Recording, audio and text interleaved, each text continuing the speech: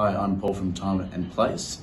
Uh, together with uh, Dwellings Group, we're very excited to introduce you to our new project, the Queensbridge Building, uh, at our early uh, release, which is prior to being launched to the market. We've developed a really good suite of incentives with uh, Dwellings Group, and we hope to see you there on Thursday evening so that you can learn a little bit more about us and a little bit more about our project.